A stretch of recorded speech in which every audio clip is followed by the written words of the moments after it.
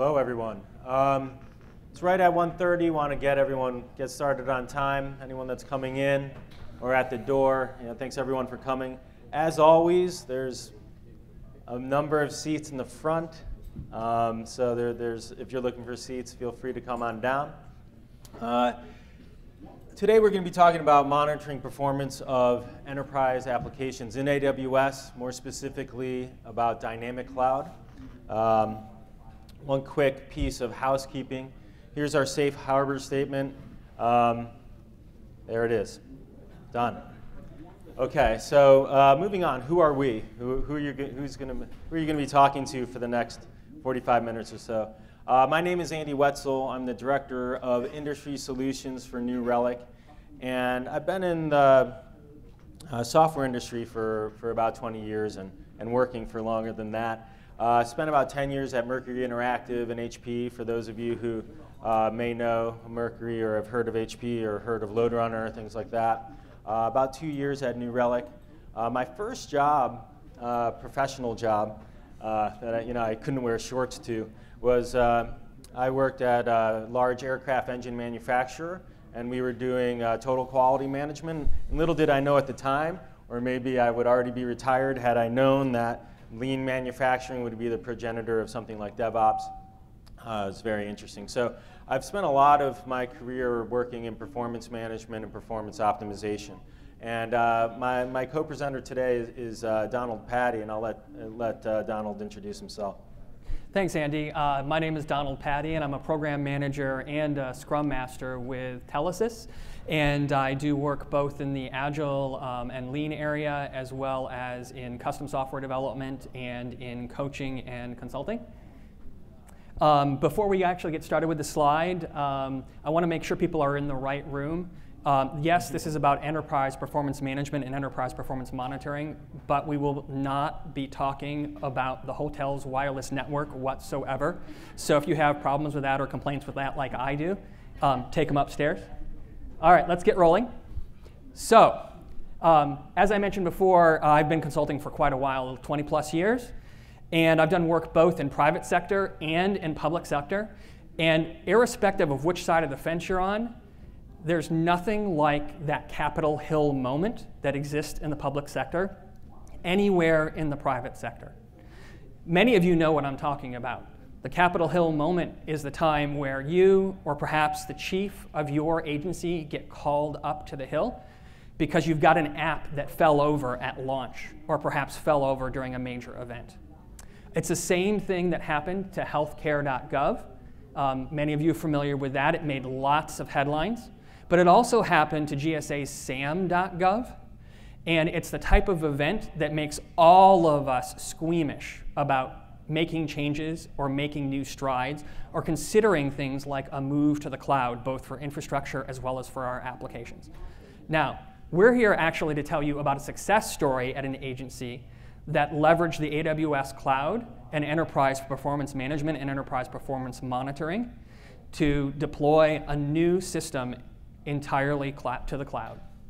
Um, before we start on that, though, um, Andy's going to talk a little bit about how to, um, oh, actually, next slide, please. Oh, there we go. Um, to uh, build a better data center, and then later he'll talk about how to leverage a dynamic cloud. Thanks, Andy. All right. I also promise we won't do one slide each and then keep switching off. Um, so we'll, we'll talk about two things from a, from a high level perspective. Um, you know, wanting better apps faster and then using either a better data center or dynamic cloud. So we'll go into each of these as, as topics on their own. Um, but I do want to, I always like to give a, a, personal story that talks a little bit about, you know, why does it matter that you want a better app or even faster? I mean, what does better even mean? it would mean that any user of your application, when they go to your application, it's available, it's correct, it's fast. They can get it from wherever they are, and if you're offering this to them with whatever device they want. But I think apps can even matter a little bit more. Um, so when I got married uh, six, seven years ago, uh, my wife was, uh, is Colombian. So as uh, you know, born citizen of the United States, I was rather blithely unaware of the uh, process that one goes through to become a resident and become a citizen. And I was also very unaware of, of different visa statuses that at that time would prevent my wife from visiting Colombia or her mother from visiting the US. So they had about a four year separation. And these are two people that talk on the phone every day. So you can imagine the emotional strain that was putting on them. So when we applied for my, wife's, my wife's residency, we would go to the immigration uh, online every day and we would check the status of her petition. Every day, clicking, you know, search your petition number, crossing our fingers and seeing if it had been accepted. So sometimes, and especially if you're working in government, these applications aren't just, the, it's not the search button, it's the reunite the family button. It was so important to us that that application, if it was available, performing, could tell us what we wanted to do. So it's something I'm, I'm pretty passionate about with application performance. So talking about cloud as a better data center, what does that actually mean? Uh, what it means is that uh, you're taking applications and you want to use the cloud, but you're not really making that many special considerations for changing the application itself. And you want to leverage the uh, cloud for using resources similar to the way you would uh, in a data center. Uh, but the provisioning is much faster, as you can imagine. So it's a better data center in the fa fact that uh, you might be able to, you're going to be able to get access to uh, compute power a lot faster. And I'm not saying this would ever happen in any, uh, you know, organization, department that you're in, but I've worked with some that, hey, it's six weeks, eight weeks, I can get something provisioned that just is forever, right? Um, so also, the lifetime of these components when you're doing better data center is relatively long-lived. And as a result, your capacity planning is very similar to what you would do with uh, an on-premise data center. All right, so why would you want to use this better data center? I kind of alluded to one reason, which is you're going to be able to add capacity faster. But to the reason of why these applications matter and what you need to care about, they're available, they perform well, they're correct. You can improve application availability and redundancy by being able to scale. But also there's the issue of compliance. So uh, if there's an operation that you're doing that requires data to be resident in a particular locale, it might be really difficult to spin up a data center in that location, but you can do that through the cloud. Um, also, if you need to have disaster, uh, for disaster relief uh, purposes, have data that's physically separate from your core data center, that can be another reason. All right, so who's impacted by this? Um, for using the better data center, the, it's typically in the operations, uh, in the bailiwick of the operations team where they still want to know, hey, how can I provision my servers? Um, can I run my app from wherever I need to, to run my app? Um, you know, how is it going to perform? But from a developer perspective, sometimes they'll experience this as, you know, the, this new data center, even though it's in the cloud, I, I, it's the same to me. You know, if I go and do a build, you know, and it gets deployed out, it's, there's no difference for me for my, my day-to-day work. All right, so um, then there's the aspect of, for a better data center, how do you monitor this? And once again, um, uh, failed to mention at the top for New Relic, the company I work for, is, is monitoring of applications. So software analytics, meaning analytics for software to, to do monitoring. So we'll step through how, do, how you do monitor, monitoring in a better data center. So once again, something that would never happen except for the places I've seen is that anytime you introduce something new into your environment and something goes bump, you know what's going to get blamed. It's whatever changed, whatever's the new component. So even if you do a lift and shift and you take the same application code, uh, same application architecture and put it in the cloud, uh, if it's not performing well, the first uh, culprit might be uh, Amazon itself. All right, so you want to monitor that piece. So for uh, Amazon CloudWatch gives you the ability to capture data out of the Amazon provided infrastructure and put that into the Amazon uh, the AWS Management Console. So that will give you the infrastructure view uh, from a virtualized infrastructure and hardware perspective. Right, but now you still have uh, virtual OS that's going to be put into that, and you're going to have your applications that are going to be put into that. So you need to monitor those two as well. And that's where New Relic comes in. So you have the ability to monitor the virtual operating system for things like memory, CPU, as well as the application code that's running to let you know how long the code is taking to execute, what it's calling, how long that takes to execute, uh, if you're getting errors. And what's really important is that you can view all of this in one, uh, one holistic view. You know, uh, Don had mentioned healthcare.gov. That was something where when, when the launch of healthcare.gov was really in jeopardy, uh, New Relic was one of the companies that got a call to see if we could assist. And one of the most important uh, you know, capabilities we brought to bear was the ability to have, by having all this data in one location, it creates a common set of evidence that then will allow your teams to work better within the team and between teams to make data-driven decisions.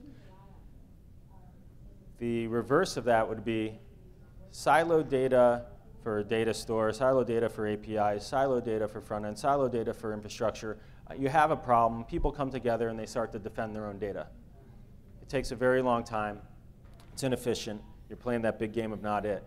Central set of data, common set of evidence, drives da makes data-driven decisions. All right, so now we're going to, uh, Don's going to talk a little bit about how um, he did this similar process at SBA. Great, thank you. So um, I think the next slide is for certified.sba.gov. The first thing I'd like to do is call out some of um, our team members who are here. Um, not only to embarrass them, but uh, so that you could ask them questions uh, after the event if you have any of them.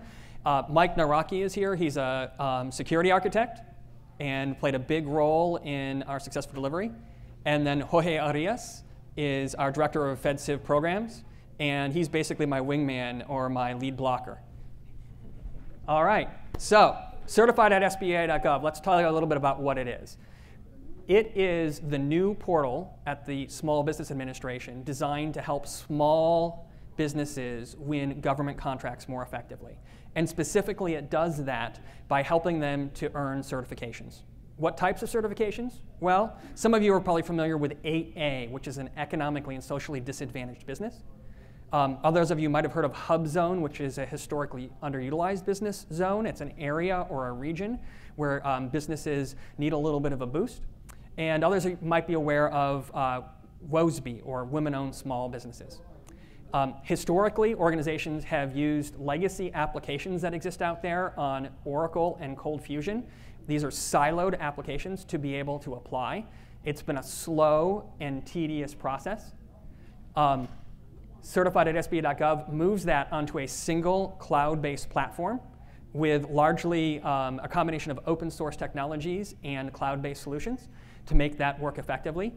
It uh, leverages the FedRAMP compliance that's there on um, the US East Cloud, um, which is also there on the Gov Cloud. And so we were able to achieve uh, ATO much more quickly than had we uh, been working with traditional hardware and traditional infrastructure.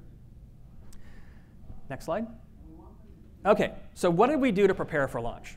So uh, I'm a little bit old school and, and old fashioned. So we did the traditional um, performance, stress, and load testing on the application. We had one of our team members um, use JMeter to write a series of scripts that would go through the application, uh, simulating uh, various different types of users. So we um, went ahead and did that um, as part of our testing. But the other thing we did that was even more important was we implemented New Relic. And um, we were able to leverage New Relic to see problems at the various different layers within the application, in addition to just identifying where we had bottlenecks in one given section or screen of the application. Next slide. Okay, so we were preparing for two major events. The first one was the go live or the launch of the application itself, but the second one was the chief administrator's um, press conference um, or her press announcement of the launch of the system, which was done out west before 5,000 um, small business owners at a major uh, SBA event. Both of those uh, generated significant increases in load and traffic on the system, and both of those required preparation. So, how did we avoid the Capitol Hill moment? Well, um, first of all, uh, we did encounter a um, bottleneck specifically on a um, left navigation bar or a menu that was dynamically generated for each and every user. And um, we were able to use New Relic to detect problems both at um, the database layer and at the middle tier. Um, we're using Ruby on Rails, and so we were able to identify that there were problems there as well. Um, that made it much, much easier for the team to narrow down where to put their time and to be able to fix those problems um, prior to go live. Um, we, of course, hit some simpler problems along the way, things like um, some slight misconfigurations with load balancing. Um, but uh, the biggest ones that uh, New Relic was a great help on were in helping us to separate out the various different layers and know specifically where the problem was. The second thing we did was we used New Relic for proactive monitoring. So at the um, go live and at the time and shortly thereafter for the press announcement, um, our team members were able to proactively monitor performance of the application, and they were in a position to make adjustments if the need arose. Okay. Next slide. Yep. Yep.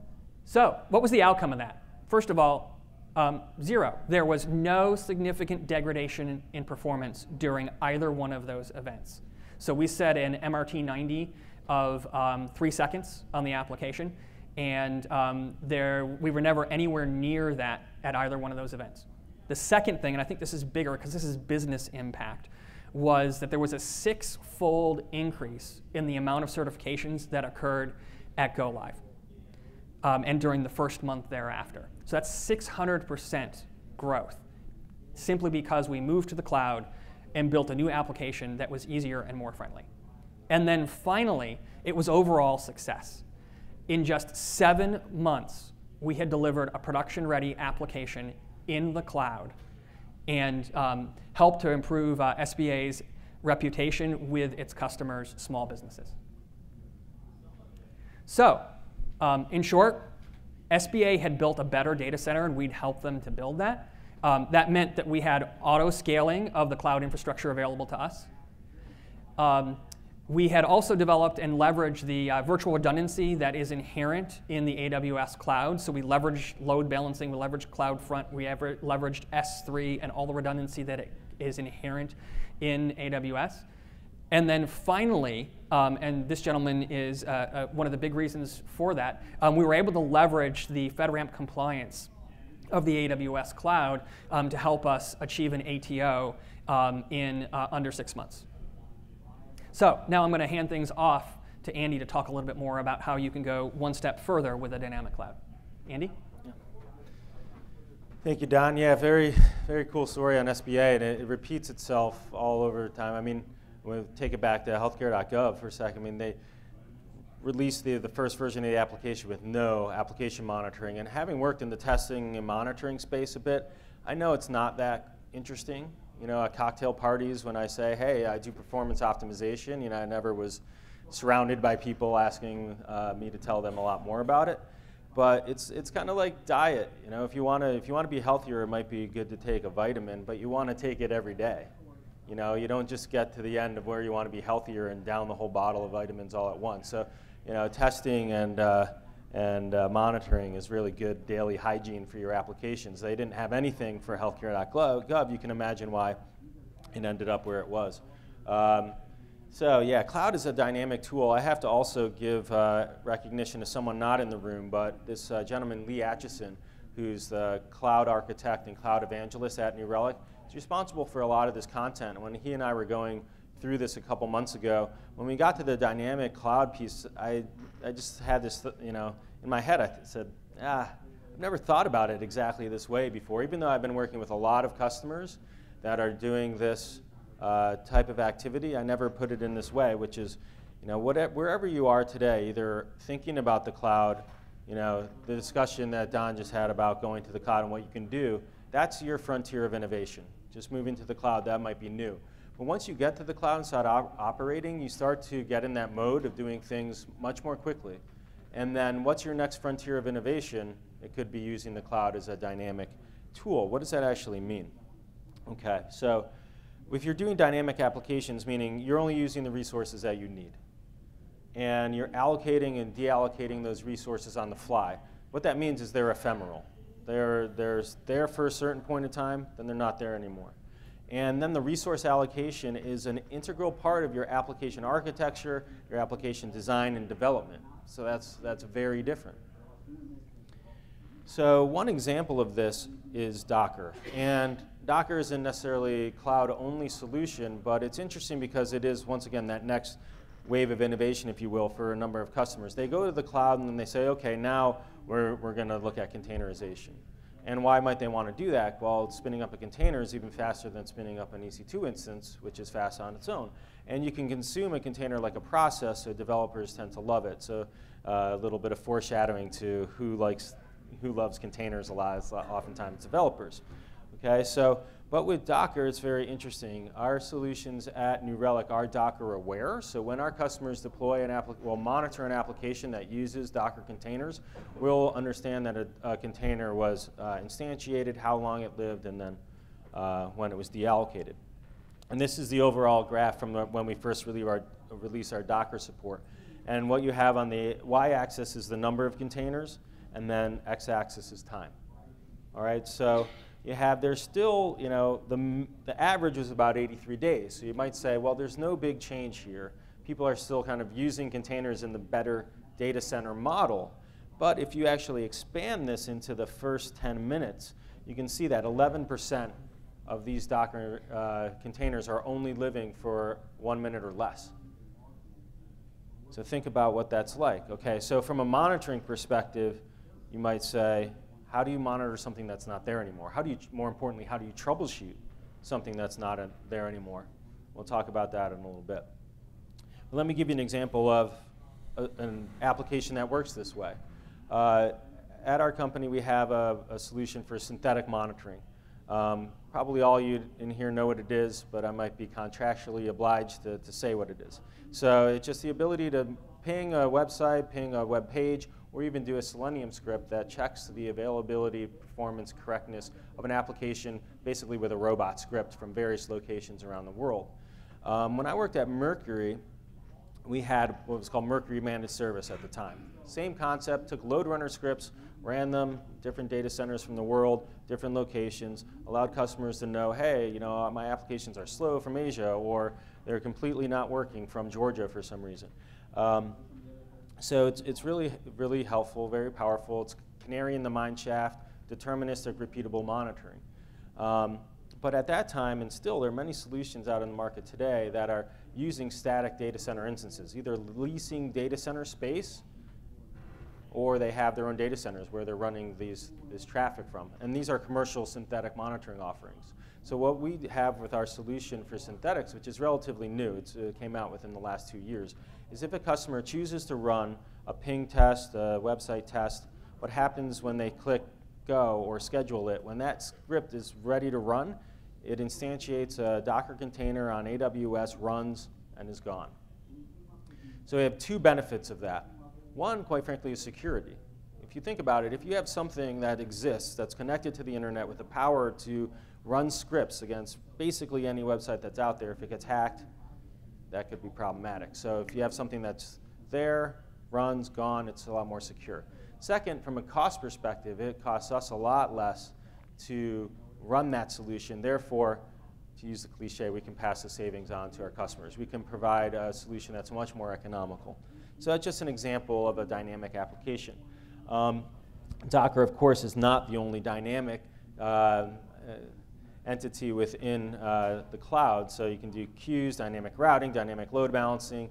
But once again, the, using dynamic cloud is about scaling, and it's an integral part of development. So who uses this now? When Better, better Data Center, uh, just homework for anyone that wants to for the overambitious, say Better Data Center like three times, four times, and it gets harder than you think.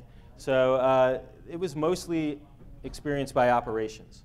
Okay? Operations is uh, doing better data center. But when it shifts to dynamic, it's much more in the sphere of development because they the applications are necessarily re-architected to make use of dynamic components. You think about the example I gave you, which was the synthetics. You know, we can't make a different architecture decision than a container using Docker right now. Our operations team can't do that because it would simply break how the application is developed. So you can start to see where the, this is maybe more in development, or at least development is much more involved in this. And maybe you can also make the point that then this is what is necessarily going to bring these teams together if they're not already. All right, so uh, we talked about monitoring for the, the kind of lift and shift type data center. Now we'll go into what it means to do dynamic cloud. And it's, uh, I went back. Okay.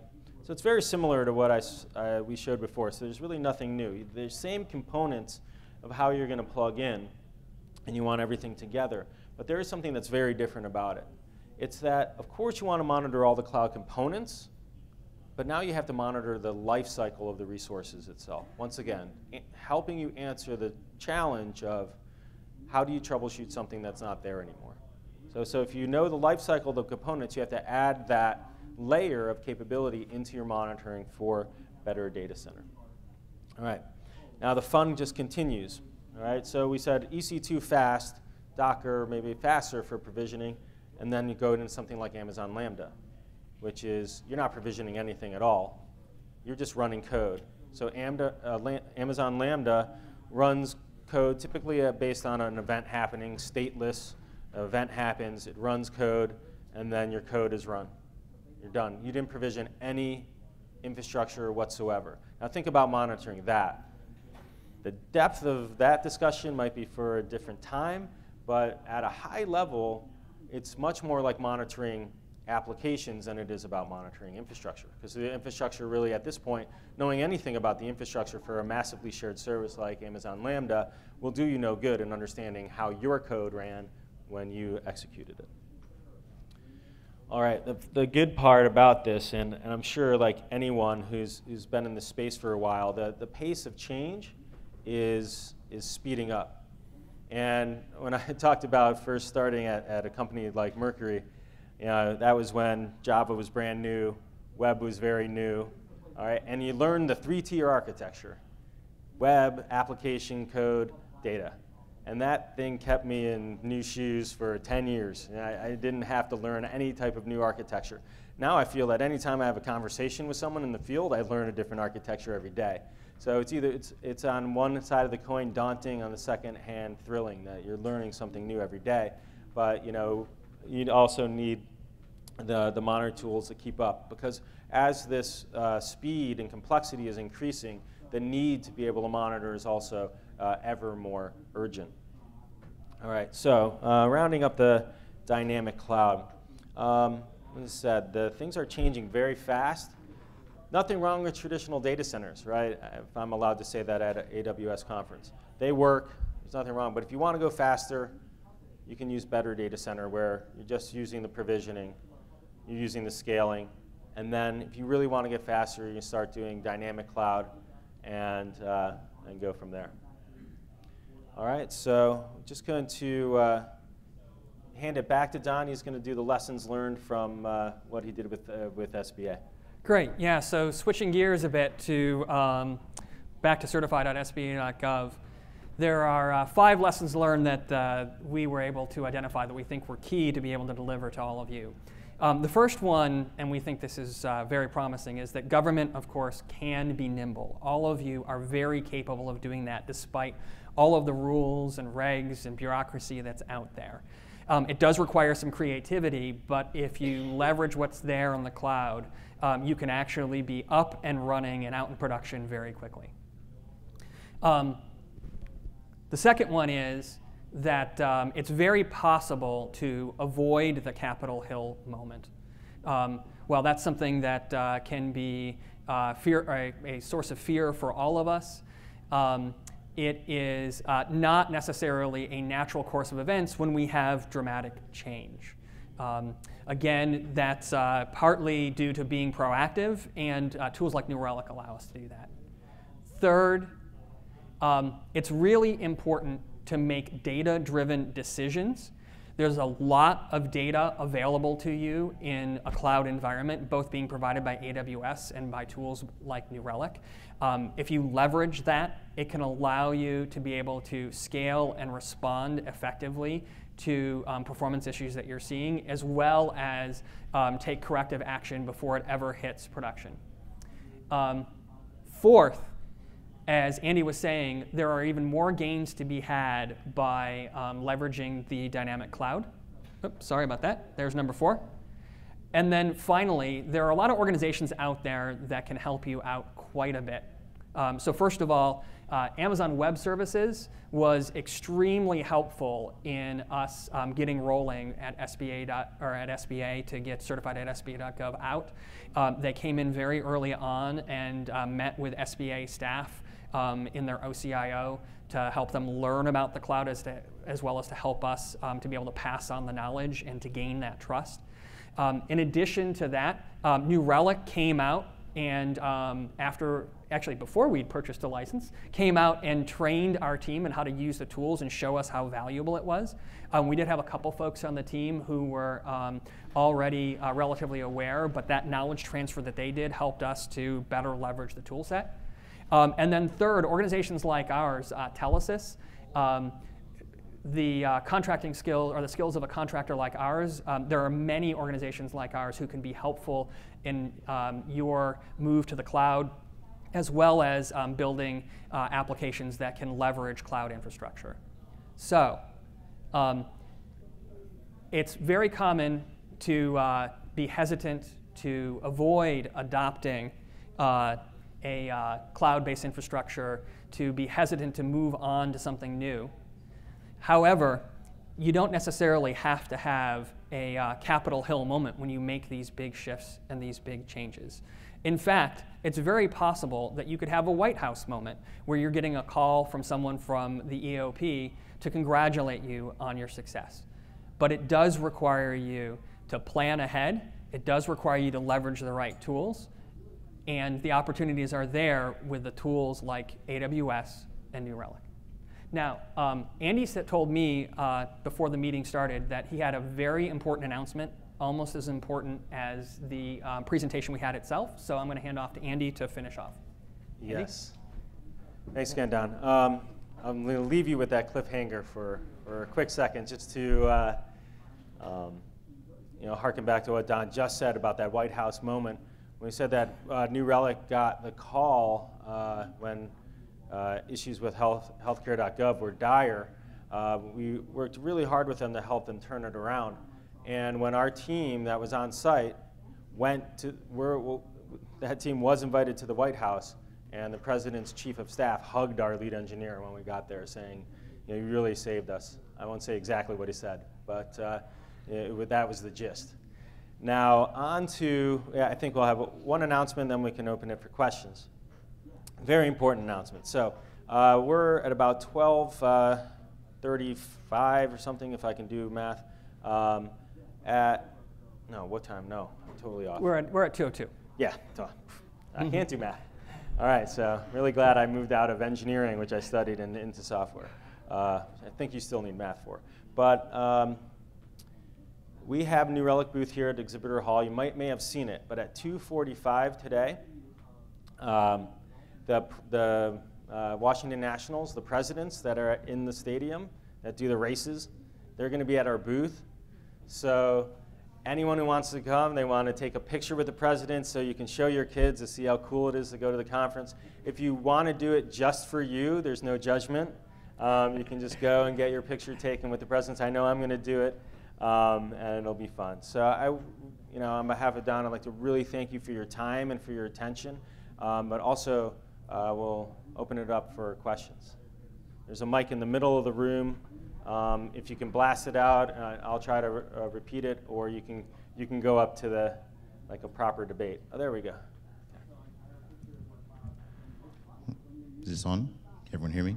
Yeah. Okay, cool. Um, I guess my first question was, where exactly was this booth again you were referring to? it's in the exhibit hall, so if you go in the where the vendor exhibits are, then you'll see that. Okay. Yeah. That's all. Thank you. well, that was one I could answer. I like that one. More, more questions like that, please. Uh, do you guys recommend any testing tools to go along with the New Relic? Uh, I'll answer from the, the New Relic perspective, but then I'll let Don answer from his kind of real world. We, we're agnostic. Um, we do see a lot of uh, customers using JMeter, but from our perspective, if you put our, app, our instrumentation and telemetry on the app, whatever you're driving load to it, um, works. So we don't necessarily uh, recommend any. Uh, so there there's are nothing some- that kind of integrates with it? yeah, we do. We have integrations for JMeter as an example. We have some plugins for SOASTA as well. So um, there are a number of solutions out there that we have plugins. So what that means, once again, a plugin is just we kind of use APIs to gather the data from that solution, and we can put it into New Relic uh, additionally. Great, thank you. Want to add to that? Nope, that's, that covers it, yeah. All right, good.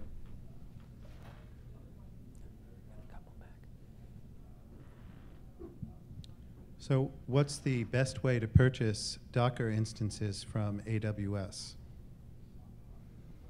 That I don't feel called to, to know how to buy Docker from AWS. I wouldn't know, to be honest. Uh, I don't know if you. have Yeah, and I don't, I don't want to that pretend to be be an AWS our- rep, but um, Yeah. I'm sure they have a booth around the corner too. I'm sure there are probably a lot of people walking around that would be happy to answer how you can purchase something. Um, it's uh, if, if it's from New Relic, I'm here. I'll stay after. Um, but yeah, for the AWS, there I would just uh, look for one of them. Sure. Mhm. Okay. Here's a, there a comment down in the front said, you can try before you buy uh, for Docker instances on AWS. You give a number of hours that you can try. Um, shamelessly, I'll just say same for New Relic. We have a freemium model. You're allowed to, to use the full version for a number of period of time, uh, use the free version forever. But not forever, please, you know. Uh, but- Uh, What new features from monitoring um, tools should we expect in upcoming um, releases from New Relic? So we've heard a little bit about AWS Beta and Meebles, but are there something that you can share with the group? Something that I can share that's coming up Yes. for New Relic. Let me let me just kind of think. Um,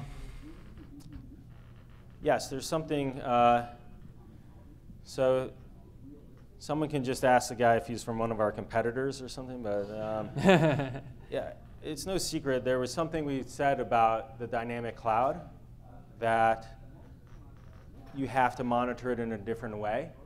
You have to monitor also the life cycle of components, not only just the, the components and resources themselves. So while I can't go into that many specifics, um, there will be a solution coming out that will help you do just that. Uh, I think that's the most uh, applicable to what we have here. Um, yeah. Thanks for the question. Um, What is the uh, improvements over CloudWatch that the New Relic has for network monitoring? Um, Is it packet level? Do you know if, uh, you know, it it seemed to be in the slides, they were kind of the same from the networking perspective. Yeah, yeah. From the networking perspective, from the actual, if, if your roles is that you look after the network within what's going on within the cloud or to the cloud, and you're working at layer two, three, probably going to be better at the Amazon layer. If you want to know the impacts of decisions when you're moving pieces of your architecture, um, one place to another, and you want to know the effect of that, how that performs across the network, that's new, where New Relic would come in. As an example, we have a customer that, oh, we it was great. We put the, we took this piece from on-premise, we put it up in S3. They didn't realize that it was very chatty. Okay, so they were making a, a large number of calls. So when they got the bill, bill was very, very high. I'll say that the bill was bill was a bit high. Um, so yeah, is that does that answer your question? Yeah, yeah, thank okay, you. thanks.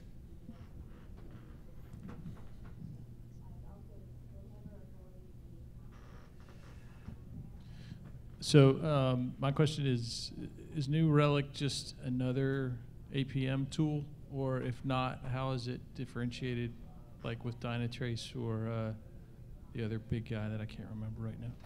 Sure. I'll, I'll answer the, the most honest way. Monitoring is, in essence, monitoring, so you probably could do a good job of monitoring your solutions with a number of things out on the market, to be frank. Um, but once you move to the cloud, you need a cloud based solution. Okay, that, that's number one. So you have to first ask yourself is my monitoring solution SaaS based? What's unique about New Relic, I think there are a number of things that are unique. One is it's uh, born in the cloud and it's multi tenant SaaS only.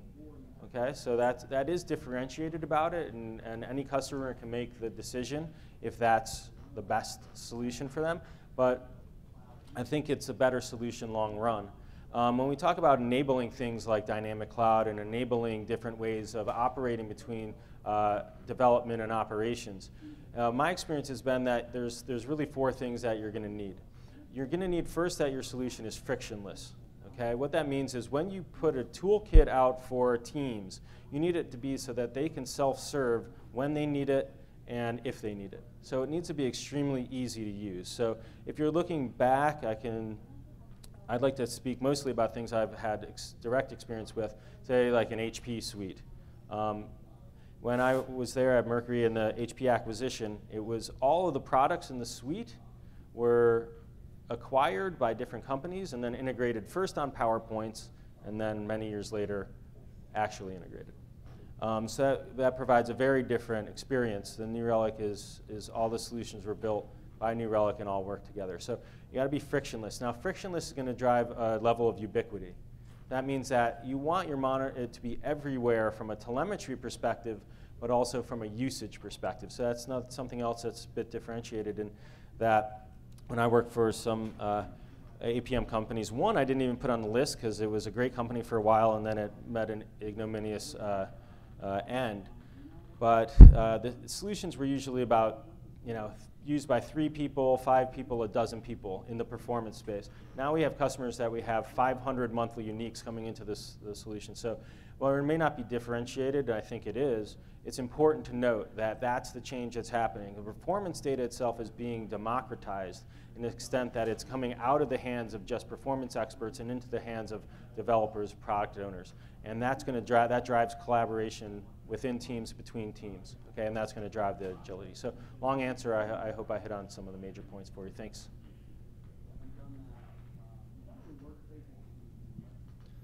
How would you compare your application performance management to say um, something like Loggly, who does uh, application log collection and then provides analytics on it in the cloud?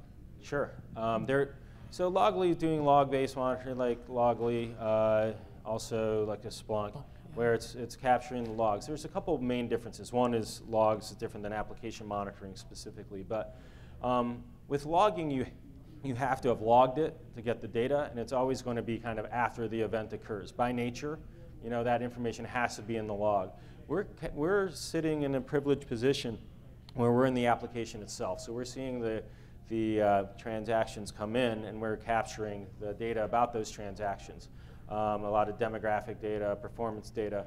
And so we can see trends as they're happening, and you don't have to have, have set anything into a log. That said, I mean, we work with uh, log solutions all the time. I think also for Loggly, um, and there's a solution called Logentries as well, very similar, where within the New Relic interface, if you're on a screen, you can right click and say go to the log. Um, so oftentimes you'll do, uh, you think about needle in the haystack. The problem isn't needle in the haystack. The problem is you have a field of 1,001 haystacks. So you have to first figure out which haystack, and then you got to go looking for the needle. And we'll get into like this big pile of of hay, and then a lot of times people will say, hey, I want the logs. Let me figure out. And developers love logs, so that's, that's kind of the main differences. I'd like to sort of second Oh, that, yes. that our team is using the two in concert and um, essentially uh, leveraging them both together. Um, the uh, you know Splunk is definitely making it very possible for us to um, identify uh, where we're either uh, seeing errors within an application or um, where we're seeing uh, other types of problems, um, compliance issues potentially. However, it's really not going to supplant what we get from um, New Relic uh, with the real-time monitoring. Cool. Other questions? All right, I think uh, Don and I probably have a little bit of time to, to be here if anyone wants to ask a question personally. Once again, thanks so much uh, for coming. 245, tall presidents. Maybe one of them will race you. We'll see if you can beat them. But anything you want to? Nope. Thank you very much. All right, thanks everyone.